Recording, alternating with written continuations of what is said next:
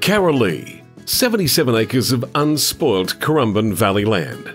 As you head through the gates of Carolee, you incline to a private building pad with uninterrupted views through the peaceful Currumbin Valley. There are numerous natural waterholes at different locations within the property, ensuring the habitation of numerous native animals.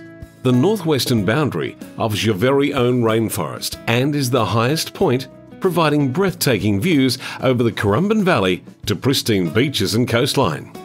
The property is currently improved by a large livable shed complex of 300 square metres with modern kitchen and bathroom.